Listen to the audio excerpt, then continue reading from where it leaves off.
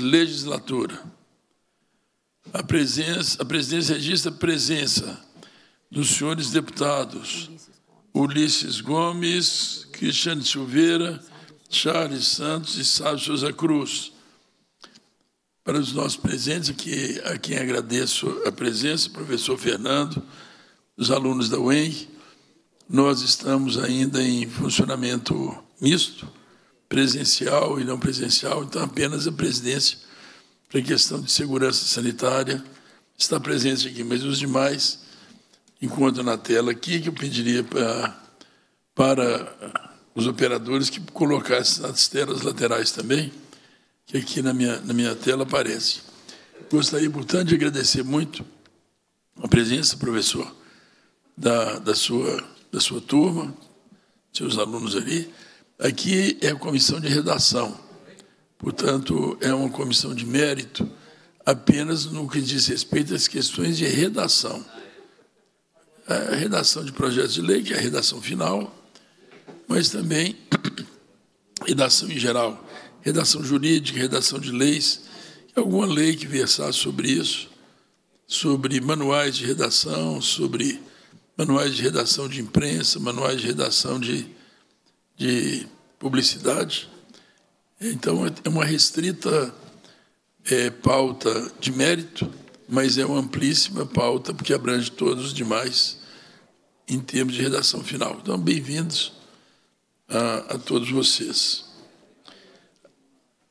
Leitura da ata. A presidência, nos termos do parágrafo 1 do artigo 132 do Regimento Interno, dispensa a leitura da ata da reunião anterior, caso haja concordância. Algum deputado se manifesta pela leitura? Não havendo quem, quem queira que eu faça, considera aprovada a ata e solicita sua subscrição, caso não haja manifestação em contrário. Aprovada a ata, fica solicitada a subscrição da mesma. Finalidade da reunião. Essa reunião se destina a discutir e votar parecer de redação final e a receber, discutir e votar proposições da comissão. Quase a segunda fase da ordem do dia, que compreende a discussão e votação das proposições que dispensam apreciação do plenário, que são as seguintes.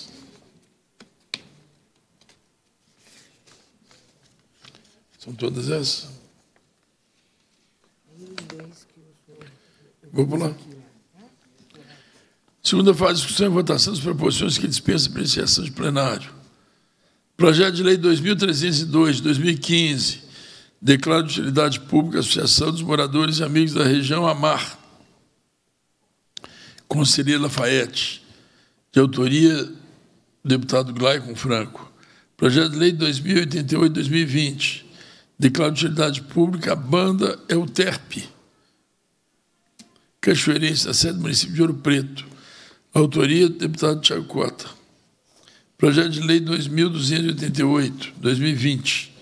Declaro de utilidade pública de associação dos municípios do Circuito Turismo Serra de Minas. Deputado Charles Santos. Projeto de Lei 2496, 2021. Deputado doutor Jean Freire. Projeto de Lei 2000 944, 2021, utilidade pública da criação dos trabalhadores aposentados de Mariana. Deputado Cristiano Silveira. Projeto de Lei 3.132, 2021. Utilidade pública da Associação dos Catadores de Materiais Recicláveis de Fronteira.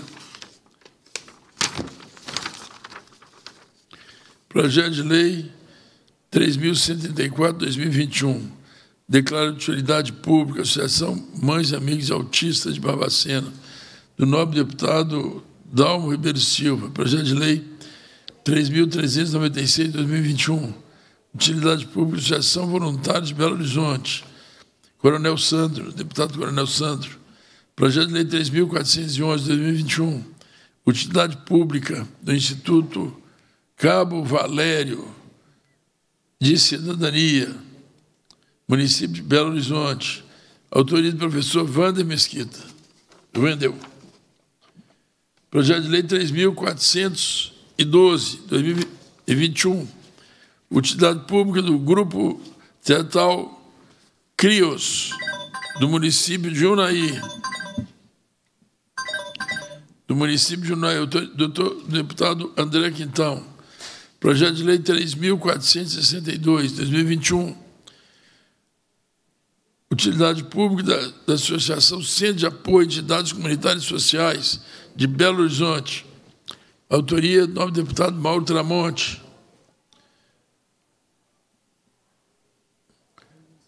Projeto de Lei 3.507, 2022, declaro de utilidade pública a Associação Comunidade Bandeirantes com sede no município de Urucânia. Projeto de Lei 3.727 de 2022, declaro de utilidade pública a Associação Santo Inácio Loyola, no município de Poté, autoria do professor Cleiton. Além desse que, que li, existe, existe mais dois outros projetos que são da minha autoria. Projeto de lei 3.432, 2021, utilidade pública dos pequenos produtores rurais de Barreiro Novo, em São João da Ponte, e o projeto de lei 3.622, 2022, declara de utilidade pública o Instituto Galo, com sede do município de Belo Horizonte,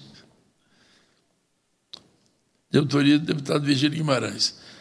Consulto aos senhores senhores deputados se alguma manifesta a intenção de desejo de relatar algum desses projetos.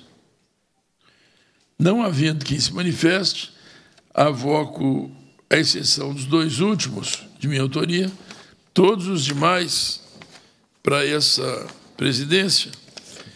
E para todos, meus pareceres contêm a redação final da matéria de acordo com o aprovado em plenário. Em plenário. Em discussão, os pareceres de, desses, desses projetos, exceto os dois últimos. Consulto se posso votar em globo. Não havendo manifestação em contrário, colocarei todos, exceção dos dois últimos, em votação o parecer. Senhores deputados que aprovaram, permaneçam em seus lugares. Aprovados.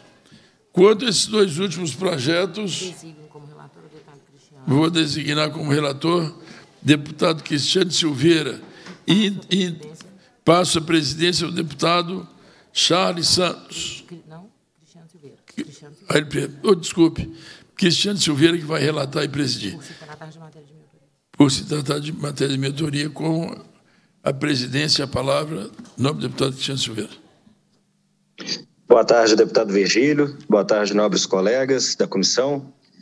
Apresento, então, é, os pareceres meus pareceres contêm a redação final da matéria, de acordo com o aprovado em plenário. Coloco em discussão os pareceres. Encerro a discussão. Em votação, os deputados que aprovam permaneçam como se encontram. Aprovado os pareceres. Retorno a palavra e a presidência para o deputado Virgílio Guimarães. Muito obrigado, deputado Cristiano Silveira. Apenas a de esclarecimento aqui para os estudantes aqui presentes é, evidentemente que é, é, essa pauta contendo tantas questões de utilidade pública se trata porque a pauta regular está sobrestada na casa e essas são as, as matérias possíveis de tramitação nessa fase. Portanto, cumprida a finalidade da reunião, a presidência agradece a presença dos nobres parlamentares, determina a lavratura da ata e encerra os trabalhos. Está encerrada a presente reunião.